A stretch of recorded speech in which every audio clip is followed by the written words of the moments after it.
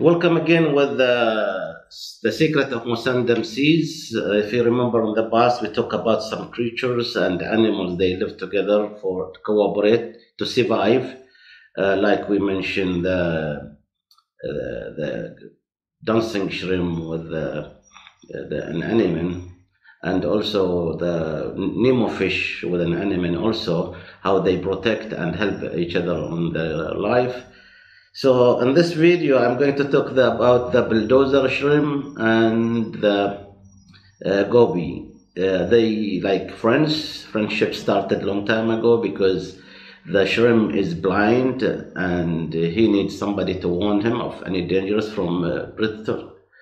And also the goby is very small fish, can be attacked by any fish. So the goby need a, a house and the agreement between the bulldozer shrimp and Gobi, Mr. or Mrs. Gobi, I call him Sheikh Gobi, uh, the, the shrimp is digging the house by making hole on the ground and decorate it and uh, uh, make the houses good enough for Gobi. And on the other hand, Gobi just uh, do the guarding. And if any danger, he will just uh, uh, in somewhere he will warn the, the shrimp and the shrimp and the goby they can hide in that beautiful house. So I'll keep you with the video and I'll see you after the clip.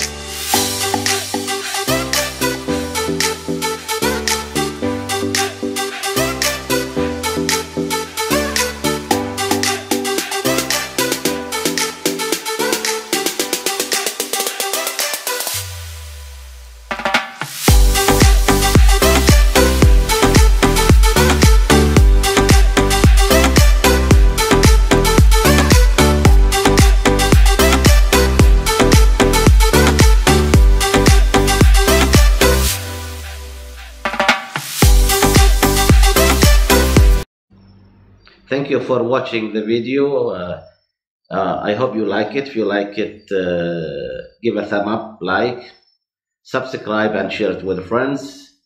And uh, I don't know if you realize uh, the, the communication between the blind shrimp, the bulldozer shrimp, and goby, it's all to do with the uh, the the shrimp got two long antennas, and that's the like sensors, and always most of the time he attach one of them to the fish or to the fish fin and by the vibration or some movements between them they agree how to communicate.